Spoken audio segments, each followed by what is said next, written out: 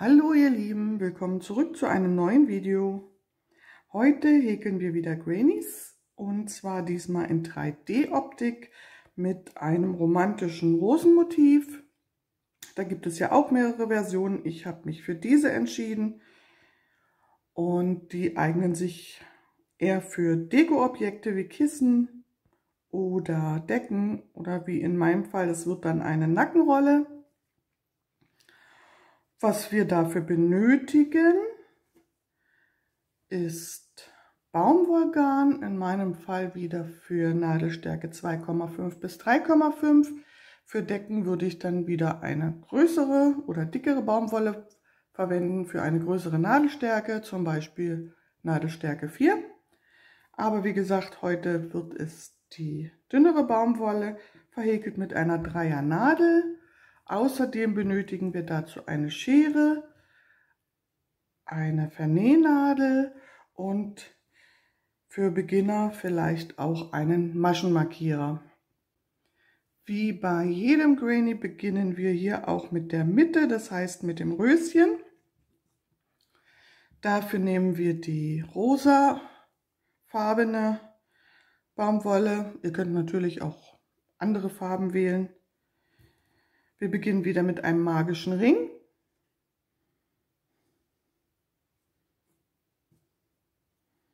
Schließen den mit einer Kettmasche. Arbeiten zwei Hebemaschen. Und die Hebemaschen, die wir jetzt in den nächsten drei Runden arbeiten, zählen hier bei meinen Rosen nicht als Stäbchenersatz. Und deswegen werden jetzt zwölf Stäbchen in diesen magischen Ring gearbeitet. Also hier rein zwölf Stäbchen.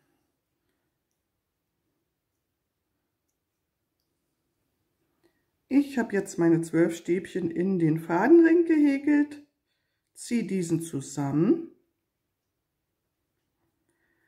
und in das erste Stäbchen der Runde hier rein kommt jetzt eine Kettmasche.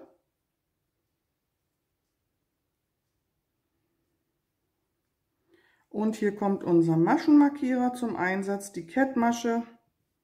Ich nehme den mal raus hier. Die Kettmasche markieren, weil die wird nicht mitbehäkelt und ist somit leichter zu erkennen. Muss man nicht machen, wer das so sieht, kann das auch lassen. Aber als kleine Hilfestellung. In der folgenden Runde arbeiten wir in das hintere Maschenglied jeweils. Und auch die erste Masche wird behäkelt, in die wir gerade unsere Kettmasche gemacht haben. Hier ins hintere Maschenglied jeweils werden jetzt zwei Stäbchen gehäkelt. Wir verdoppeln somit jede Masche. Zuerst zwei Hebemaschen, die auch wieder nicht als Stäbchenersatz zählen. Und ins hintere Maschenglied, wie gesagt, gleich die erste Masche, zwei Stäbchen.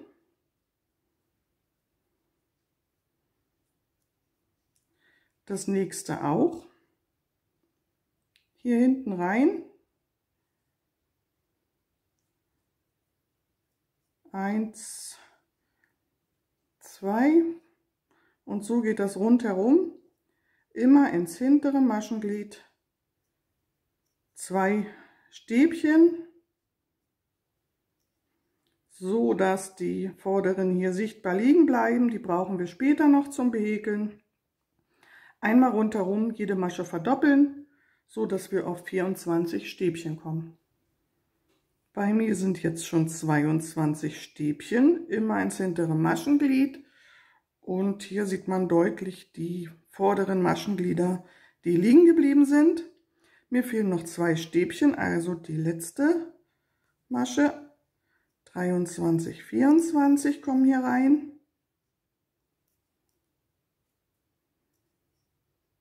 Dann kann der Maschenmarkierer hier raus. Und auch hier wird wieder in das erste Stäbchen der Reihe eine Kettmasche gemacht. Und wer will, markiert die auch wieder.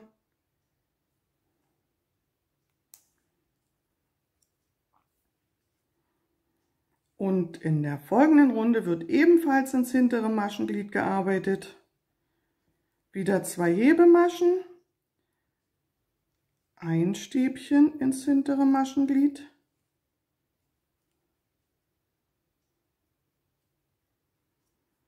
und das nächste verdoppeln. Also wir verdoppeln jedes zweite. Hier kommt zwei rein.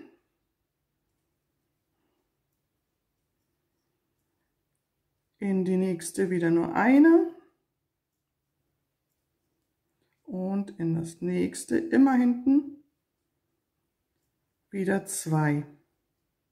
Und so geht auch das rundherum, bis wir dann 36 Stäbchen gehäkelt haben.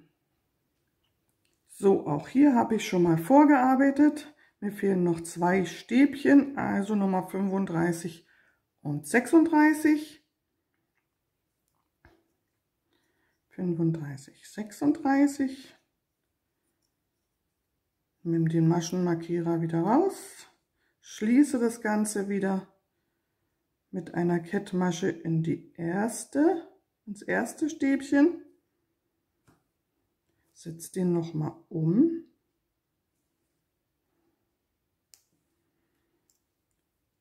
So, das ist die Basis unseres Röschens. Jetzt arbeiten wir ins vordere Maschenglied, in das vorne liegende. Hier immer in das, was zu uns guckt. Wir beginnen jetzt mit drei Hebemaschen und die sind in dem Fall dann doch ein Stäbchen Ersatz. Also ab jetzt sind die immer ein Stäbchen Ersatz. Drei und gleich in das erste, in die erste Masche, ins vorne liegende Maschenglied fünf Stäbchen. Eins,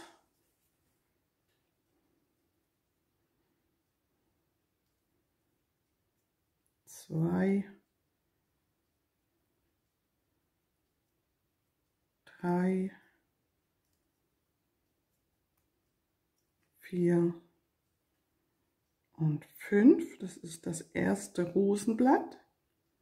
Dann übergehen wir eine Masche der Vorrunde und das ist am besten, man guckt von oben, damit man das auch nicht übersieht. Die wird übergangen und in die nächste, auch ins vorne liegende Maschenglied, kommt jetzt eine feste Masche. Dann übergehen wir wieder eine. Die wird wieder übergangen. Und in das nächste kommen jetzt sechs Stäbchen.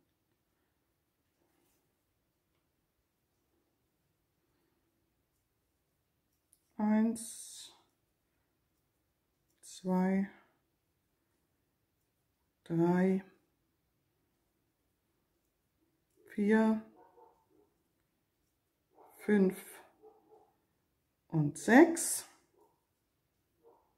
Dann wird wieder eine Übergang und in das nächste wieder eine feste Masche. Wieder eine übergehen und in die nächste wieder sechs Stäbchen. Eins, zwei, drei, vier,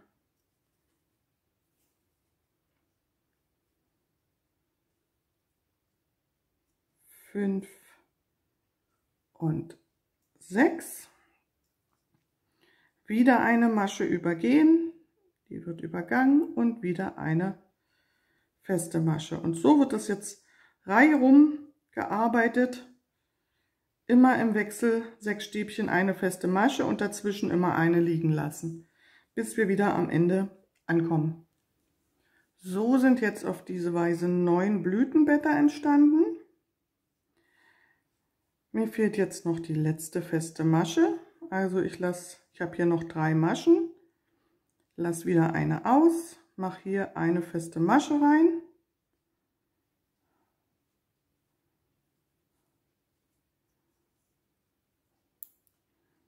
Nehme die, den Maschenmarkierer raus und mache in den Luftmaschenbogen von dem ersten Blütenblatt, also in unsere, unseren Stäbchenersatz, die Hebemaschen, mache ich jetzt eine Kettmasche, schließe somit den Ring und in der nächsten Runde arbeiten wir jetzt in diese Maschenglieder, die wir hier noch sehen, die hier vorne liegen aus den zwei Vorrunden. Und zwar, das ist die Kettmasche, die wir ja nicht beachten. Am besten umklappen, gleich in die erste, in das erste Maschenglied sechs Stäbchen.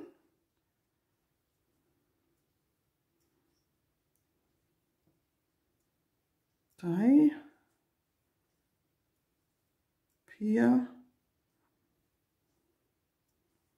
fünf und sechs. So entsteht jetzt der innere Ring. Auch hier lassen wir dann wieder ein Maschenglied aus, das bleibt frei. In das nächste kommt die feste Masche, wieder eins freilassen und in das nächste wieder sechs Stäbchen. Eins, zwei, drei, vier, 5 und 6. Wieder eine auslassen, wieder eine feste Masche und so geht es im Prinzip wie beim äußeren Ring weiter, bis wir dann hier sechs Blütenblätter haben. Auch hier sind bei mir jetzt die sechs Blütenblätter fertig. 1, 2, 3, 4, 5 und 6. Auch hier kommt die letzte feste Masche. Also wieder eins auslassen, wieder eine feste Masche.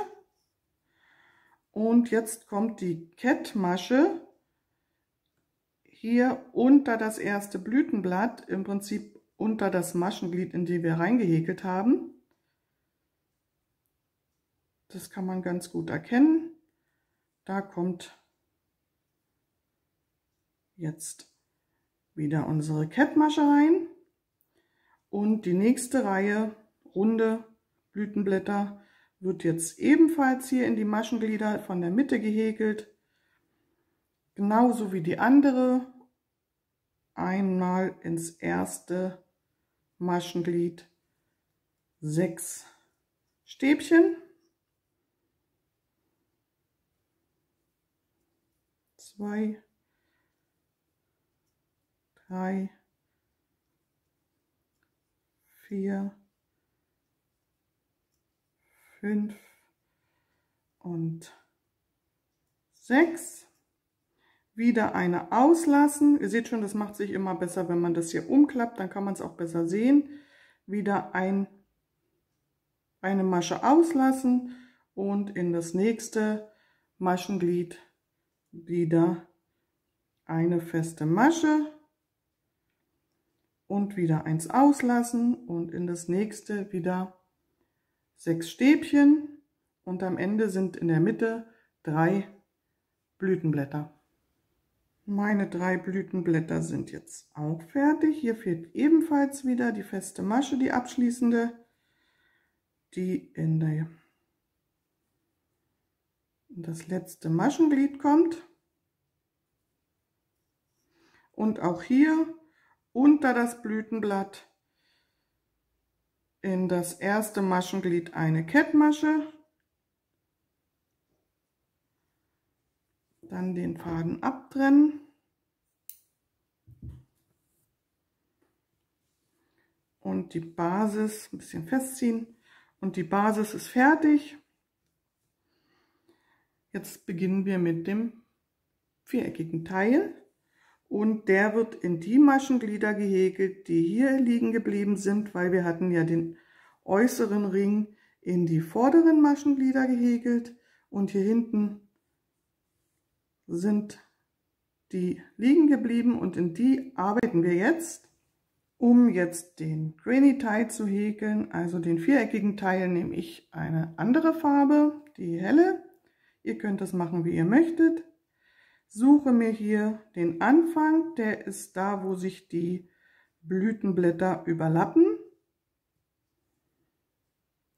Hier wird jetzt reingearbeitet und immer ins freiliegende Maschenglied. Dafür mache ich mir erstmal eine Luftmasche.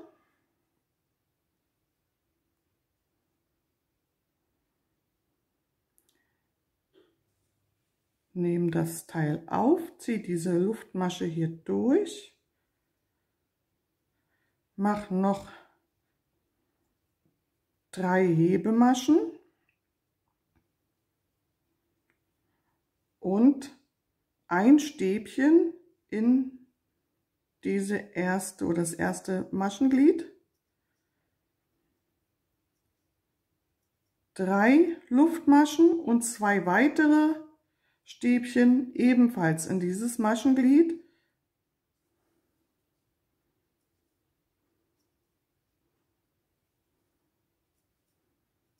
Und habe somit die erste Ecke für den viereckigen Teil.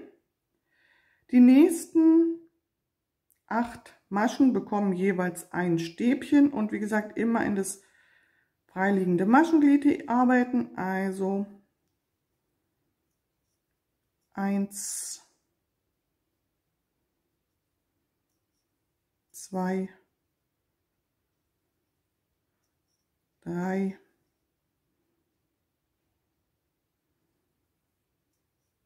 vier,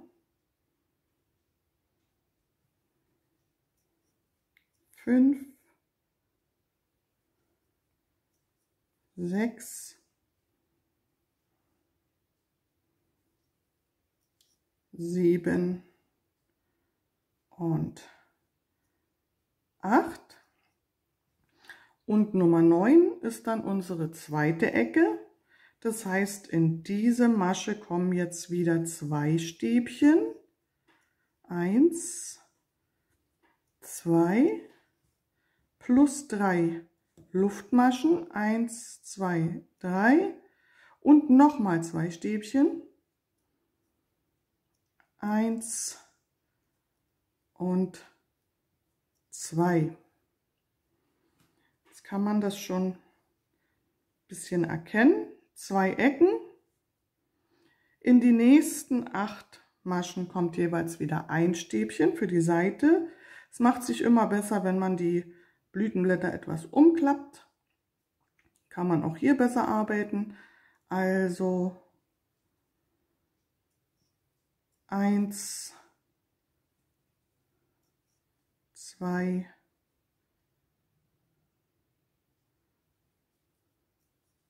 drei, vier, fünf, sechs, sieben und acht. Und schon sind wir an der dritten Ecke angelangt. Wieder zwei Stäbchen, drei Luftmaschen, zwei Stäbchen. eins, zwei, eins, zwei, drei Luftmaschen und nochmal zwei Stäbchen in dieselbe Masche. Eins und zwei. Dritte Ecke ist fertig. Wieder acht Stäbchen in die folgenden Maschen.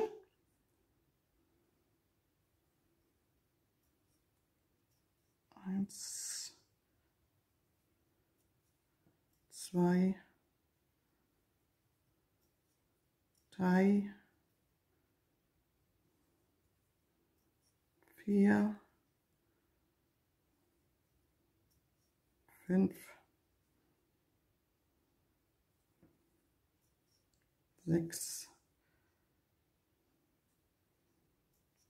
sieben und acht. Und die vierte Ecke ist dran. Wieder zwei Stäbchen, drei Luftmaschen, zwei Stäbchen in die Masche. Also eins, zwei, eins, zwei, drei und nochmal zwei Stäbchen in die gleiche. Und die letzten acht Stäbchen bis zur ersten Ecke. Eins, zwei, drei, vier, fünf, sechs, sieben und acht. Und beendet wird die ganze Runde mit einer Kettmasche in das erste Stäbchen aus der ersten Ecke. Wir hatten hier die drei Hebemaschen und hier kommt jetzt eine Kettmasche rein. Nicht zu festziehen wieder. Unter den Luftmaschenbogen ebenfalls eine Kettmasche und die erste Runde mit den Ecken so, ist fertig. Für die zweite Runde machen wir wieder drei Hebemaschen als Stäbchenersatz. Dann kommt ein Stäbchen, wieder drei Luftmaschen und nochmal zwei Stäbchen in den Luftmaschenbogen.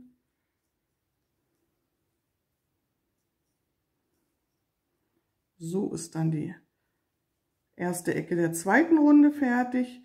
Jetzt kommt in jedes Stäbchen der Vorrunde ein Stäbchen, auch das hier vorne nicht vergessen. Manchmal versteckt es sich unter den Eckstäbchen aber das muss mit. Und das geht jetzt bis zur nächsten Ecke. Sind dann also zwölf Stäbchen. Eins, zwei, drei, vier, fünf, sechs, sieben, acht, neun, zehn, elf. Und zwölf. Und in den Luftmaschenbogen von der Ecke kommt die nächste Ecke wieder mit zwei Stäbchen. Eins, zwei, dann drei Luftmaschen und nochmal zwei Stäbchen in dieselbe Ecke.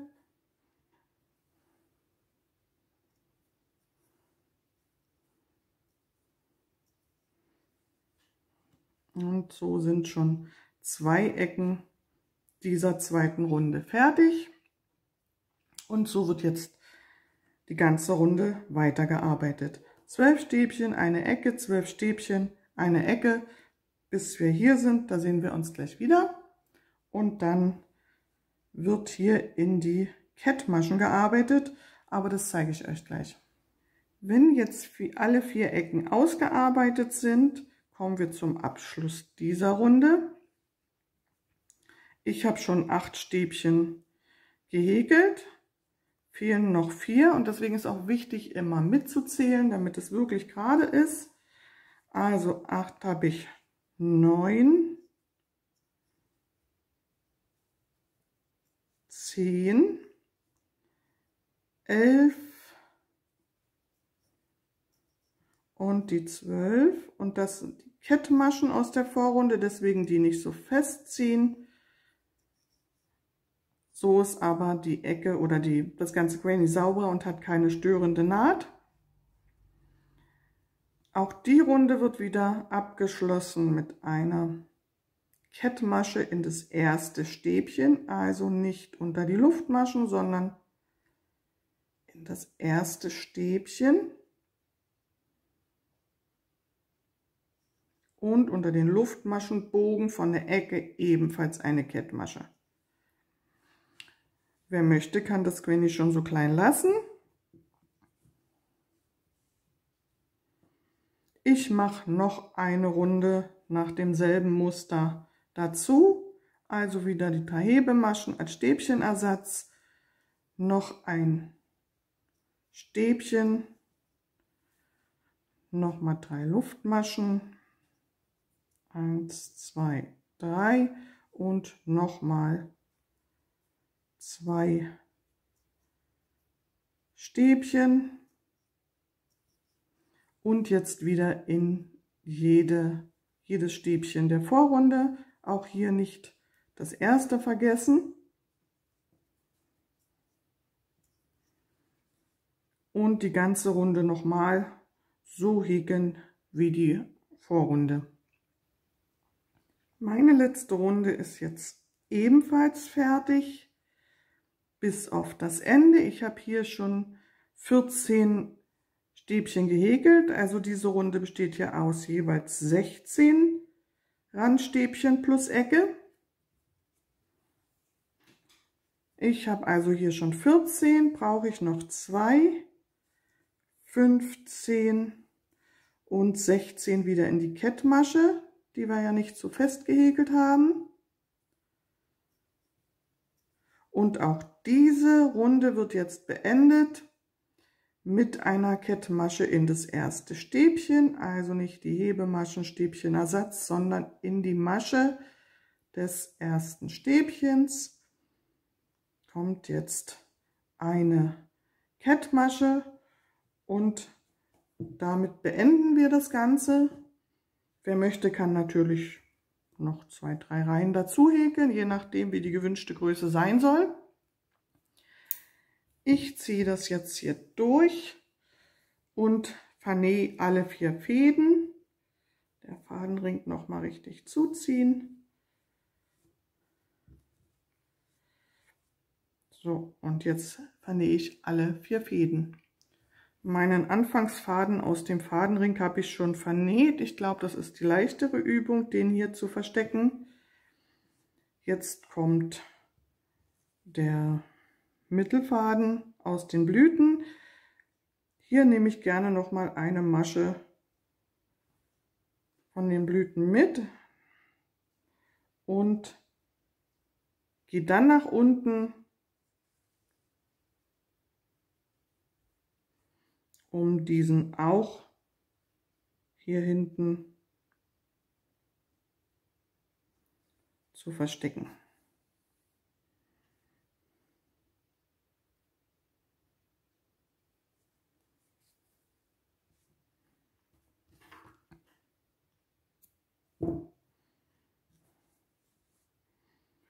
Mit diesem Faden verfahre ich genauso, den werde ich auch gleich hinten verstecken und den zeige ich euch gleich noch, weil ich den auch gern über die Ecke vernähe, damit er dann nicht mehr auffällt. Also den letzten Endfaden verstecke ich gern in den Luftmaschen aus dem Luftmaschenbogen. Gehe also Luftmasche für Luftmasche nach oben und unten nicht zu festziehen, damit die Ecke nicht zuzieht. Und dann einfach hier runter.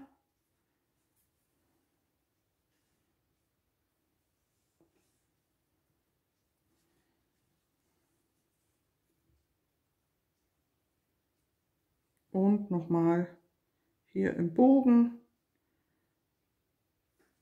und schon ist er verschwunden. Und in die Ecke integriert. Abschneiden. Das Ganze nochmal in Form ziehen. Ich habe noch keinen Spanner, ich weiß gar nicht warum. Aber das wird wohl meine nächste Anschaffung. So, das Granny Square ist fertig. Ich hoffe, es hat euch gefallen. Ich würde mich freuen über eure Vorschläge, was ihr aus diesen Rosen Grannies so macht. Mir fallen tatsächlich nur Deko-Objekte ein. Vielleicht fällt euch ja noch was anderes ein. Darüber würde ich mich freuen. Ansonsten werdet gern Follower auf äh, Facebook und oder Instagram. Da seht ihr dann die fertigen Werke oder das, was neu kommt. Abonniert meinen Kanal, da verpasst ihr auch kein Video mehr. Und ansonsten wünsche ich euch jetzt ganz viel Spaß beim Häkeln. Bis bald!